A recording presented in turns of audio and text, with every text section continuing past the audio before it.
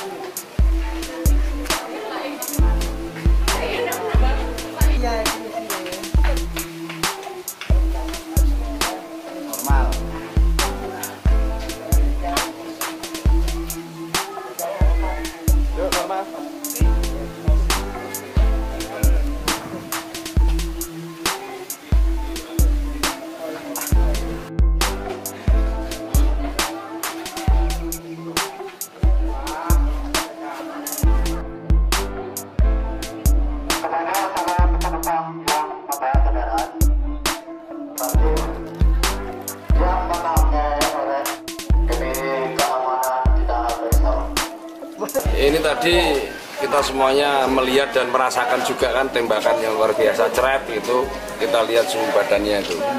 Sehingga harapannya diketahui sejak sini kalau memang mereka ada unsur-unsur yang menjadi indikasi bahwasanya itu terkena virus. Nah, pertama kan kita lihat suhu badan.